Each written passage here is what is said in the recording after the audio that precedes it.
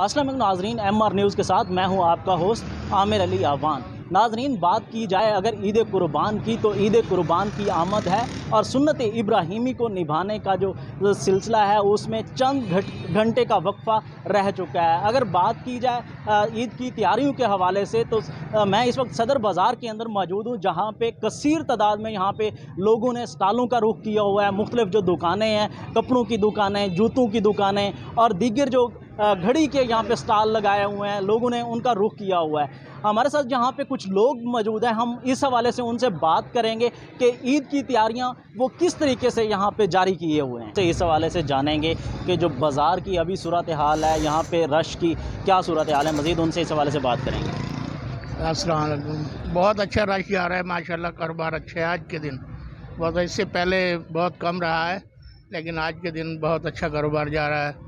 Decoration के हवाले से भी फूलों के हवाले से माशाल्लाह लोग जौक दर जौक आ रहे हैं और ख़रीदारी कर रहे हैं। अच्छा दूसरा मतलब पहले देखा जाए तो मतलब रश जो है ना काफ़ी हद तक होता था मतलब काफ़ी लोगों की भीड़ होती थी।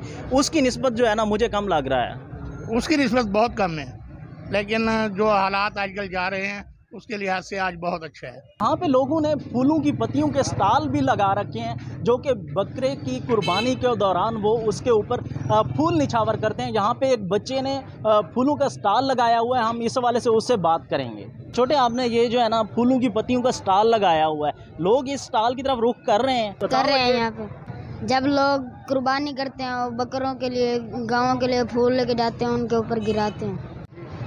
जी, जैसा कि मैंने आपको बताया कि सदर बाज़ार के अंदर काफ़ी हद तक भीड़ मौजूद है। यहाँ पे एक शहरी हमारे साथ मौजूद हैं जो कि यहाँ पे ख़रीदारी के लिए आए हुए हैं। मज़ीद उससे इस हवाले से बात करेंगे। जी, मुझे बताइएगा कि यहाँ पे जो है ना, क्या इंतज़ाम किए गए हैं सदर बाज़ार की जो मैंने सर इंतज़ाम तो बहुत अच्छे किए गए हैं। बाकी यहाँ पे जो है ना मुश्किल का सामना करना पड़ रहा है थोड़ा बहुत। सदर बाज़ार की जो मेन गली है, उसमें एंटर होते हैं। इतने मोटरसाइकिल हैं कि बंदे की कदम रखने की जगह नहीं है। बस यही एक मसला है बाकी सारे इंतज़ाम ओके हैं इनके। क्या इंतज़ाम किए जाएँ इंतज़ामिया की जानब से? थोड़ा सा इस हवाले से अगर बाइक की पार्किंग मिल जाए तो बेस्ट रहेगा।